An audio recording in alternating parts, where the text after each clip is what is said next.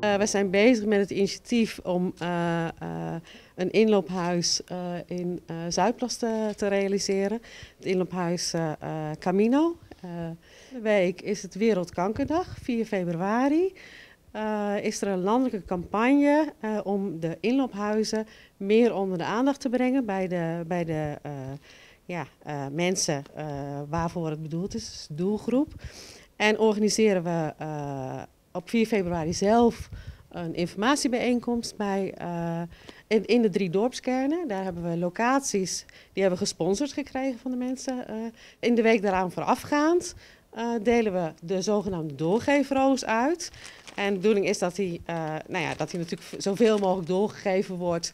er zit aan die roos zit een lintje. daar staat de aankondiging van de informatiebijeenkomsten op. En de bedoeling is dat uh, voordat hij doorgegeven wordt, dat je er even een lintje afhaalt, zodat je uh, die informatie uh, achterhoudt en ook komt op de bijeenkomst. En, maar dat hij uiteindelijk, dat die roos wel in de vaas terechtkomt.